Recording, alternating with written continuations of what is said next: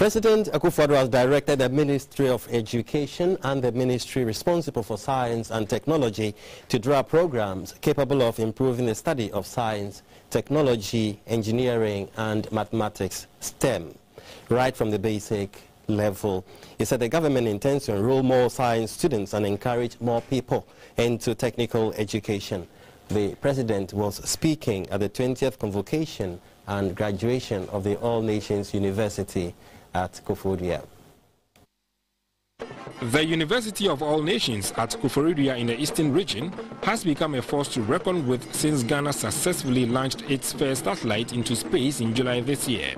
Students of this university developed a satellite which was sent into orbit from the International Space Station. It was the culmination of a two-year project which cost $500,000. The satellite will be used to monitor Ghana's coastline for mapping purposes and to build capacity in space science and technology. The 20th convocation and graduation was used to emphasize the importance of science and technology, vocational and technical education in the country. The president of the university, Reverend Dr. Samuel Donkor encouraged the government to formulate policies that can improve higher education in the country.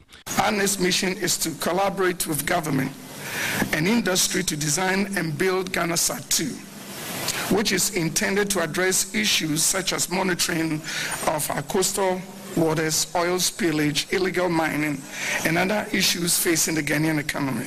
The guest speaker, Nana Dr. S.K.B. Asante, said by creating a successful satellite, the All Nations University has proved that Africa is now technologically advanced. President Akufo-Addo said government is committed to encouraging more Ghanaian students to study science and technology since such subjects have become critical to society's advancement.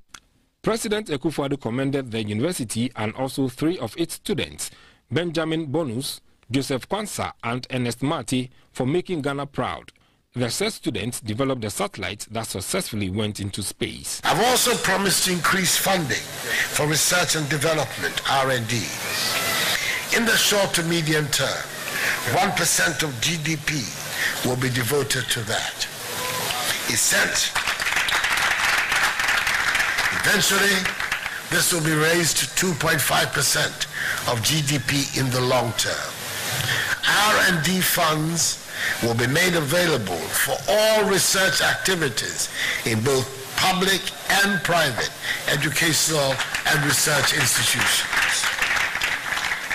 It will take time, but I'm convinced that eventually Ghana will reap the expected benefits of the policies that have been put in place to transform education.